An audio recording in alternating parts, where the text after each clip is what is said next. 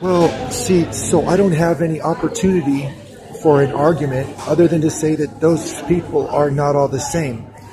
Or perhaps um, that um, in a stress environment that um, that somebody might assume that they were Kurt Cobain or um, or all apologies or um, any anybody with who has anything like with a name on it or something. You know what I mean? And so I don't know. I mean, we had Little Red Riding Hood. Um, or what, what was that one?